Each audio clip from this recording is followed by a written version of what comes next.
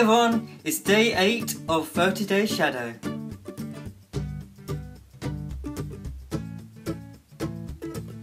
For today's eyeshadow look, I'm going to be using the Unicorns Unite palette again. This time, I'm just going to be using the matte shades. So here's the finished look. I use this pink shade all over my lid, this black shade in the crease, this beige shade in my inner corner, and this brown shade on my lower lash line. So today I wanted to share 10 facts about dreams. Human beings spend around 6 years of their lifetime dreaming. Thousands of years ago, the Egyptians were the first ones to create a dream dictionary.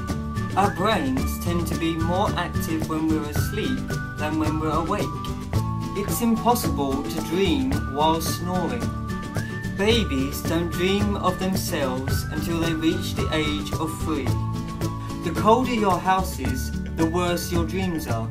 They say that if your room is at an average temperature, you have better sleeps. While dreaming, you can't read or tell the time. Dreams are responsible for many of the inventions of mankind. One example is Google.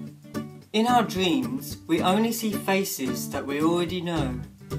As much as 12% of people dream in black and white. So I hope you liked this video. If you did, please give it a thumbs up and also don't forget to comment and subscribe if you haven't already and I shall see you tomorrow. Bye!